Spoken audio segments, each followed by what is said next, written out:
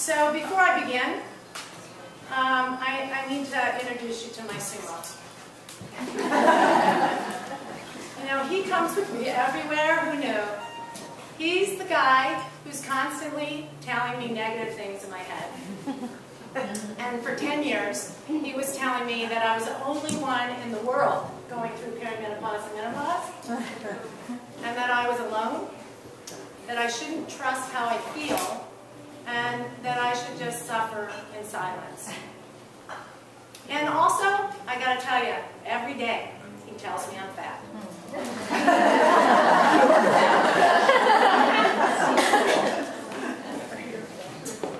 Do you have one of these guys? Yeah, yeah. They like to be in charge, you know? So we have to push them aside so we can talk shmirshky.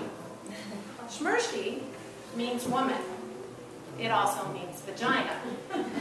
So I have a shmirshky, and I am a shmirshky. Actually, I'm a shmirshky in PM&M. Perimenopause and menopause is such a mouthful that I shortened it. And, you know, it's way more fun. And besides, it reminds me of something delicious.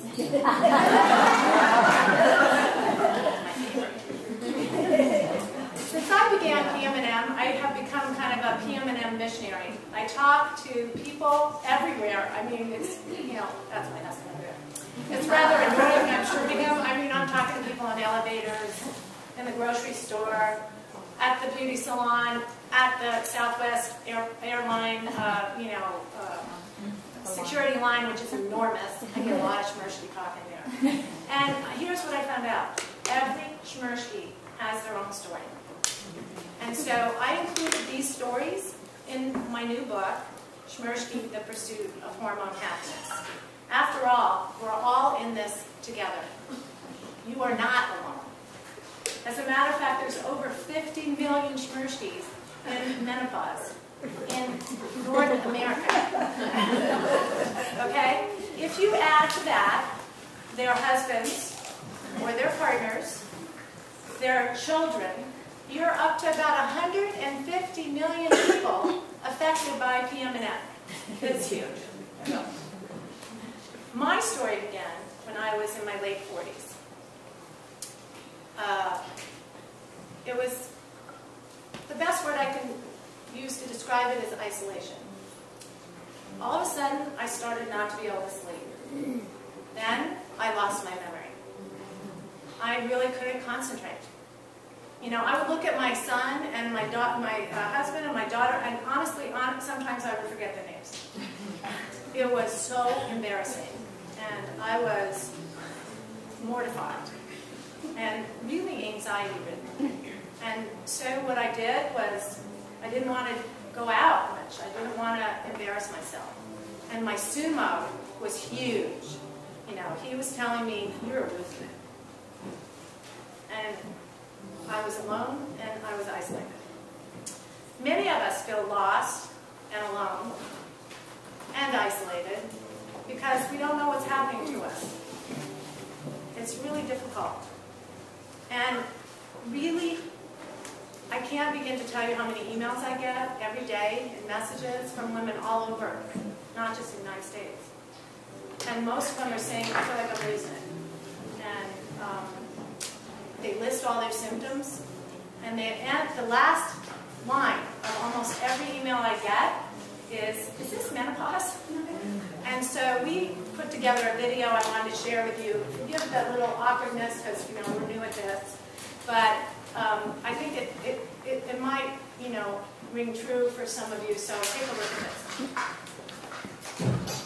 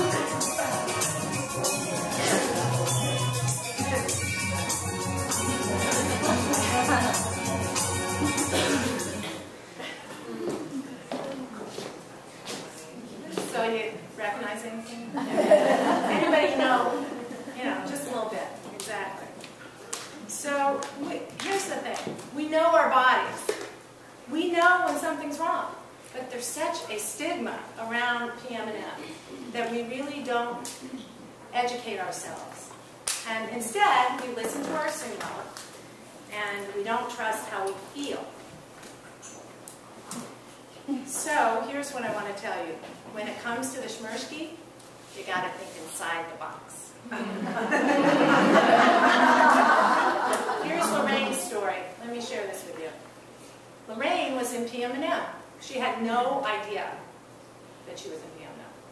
She started by being really depressed. She felt her whole world was kind of crumbling around her.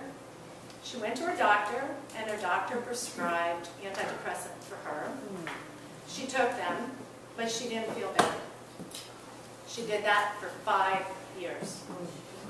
For five years, she suffered. And on top of it, she gained 35 pounds.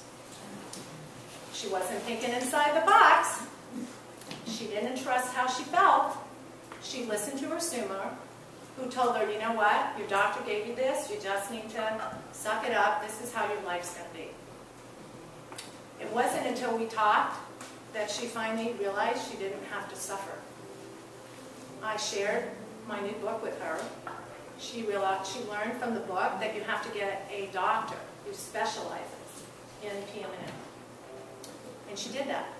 And her doctor took a blood test and actually checked her hormones.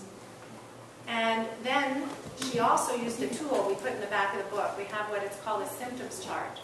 And I've got over 30 symptoms in the back of that book. And I've gotten those symptoms from all the Shmirshkys I talk to and doctors and pharmacists have helped me. And I put together a chart that's really easy, promise you. It's, it's really easy to chart how you feel. And it's divided up between physical and emotional. And you can take that in with you and use it as a tool to communicate to your doctor who says, so tell me how you feel. And you want to say, yeah, you got, you got three hours, you know, and instead he's got 15 minutes, so he or she. So, you know, this tool is really wonderful, and, and I hope that you'll use it to, to help you. But trust how you feel. And here's the end of that story. She got the help she needed. Her doctor developed a whole new program for her. And I just got an email from her, and she feels great, and she's lost over 40 pounds. So here's the thing. If you don't feel good, do something about it.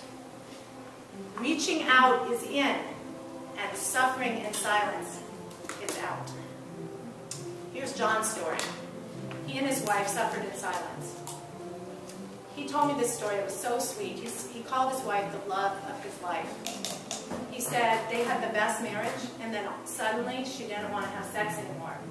And so, you know, they became kind of friends instead of lovers. It was really difficult and um, confusing, and their communication totally broke down between them. And he said they got divorced. And he told me he had no idea this could be PMN. He had no idea that a low estrogen can cause your Shmirshky to take a trip to the Sahara Desert. You know what I'm saying? It gets dry. And he had no idea that that sex can hurt when that happens. He didn't know. He also didn't know that a low testosterone levels can cause a low libido. So he personalized the whole thing and he said he really thought his wife didn't love him. And he felt that if he had had this information, he and his love of his life would still be married today. It's a pretty, pretty powerful story. So we have to reach out for the help that we need and deserve. And shrink that huge sumo that's telling you that you need to suffer. You know? Yeah, that sumo's still telling me I'm fat all the time, but let me tell you. he starts out really, really big, But when you understand that you should trust yourself, you're not alone, and you should get the help that you need, look at him. He gets really small. I'm so proud to be here today, and uh, I really have to tell you all, I think it's so great that you're here because you want to educate and empower yourself. That is so wonderful. We, we in Shmirshky land, we call these events Shmirshky parties. Anytime Shmirshkys get together and they talk PM and M, we call them a Shmirshky party. You know, we love to party. You know how we love to party. So um, we have people giving parties all over the United States um, this month, next month, and the next month to celebrate the Shmirshky movement. Uh, if you want to invite your friends over and talk PM and M and share, you know, email me, let me know. We'll talk about it. So, um, La Vita and the doctors here, I just want to applaud you because thanks to you, really, we all are going to learn and we all are going to get the help we need. Every Shmirshky has a story.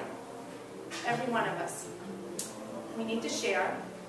We need to share the wisdom of our experiences. But I can tell you one thing, that every one of us has one goal, and that is the pursuit of hormone happiness. So good luck, and go Shmirshkys.